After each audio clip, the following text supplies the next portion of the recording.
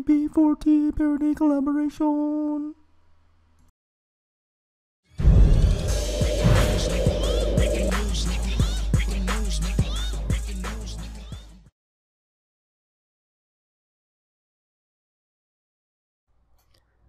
Looks like Scammer 126 has moved yet again.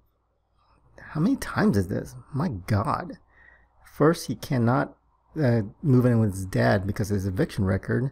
He basically stole somebody's home from them and refused to leave until the sheriff got involved. Um, then he was living in his car.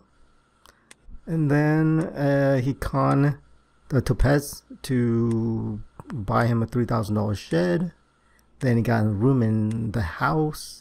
Then he got kicked out of the house for uh, being a whiny little bitch. And then he was living in his car again. Then he rented out a motel room for 400 and something dollars a week. And then he got a trashy RV for 250 that he didn't live in. And then he got another RV for 400 and now he's in this rig that we uh, saw in the beginning of the video. Hmm.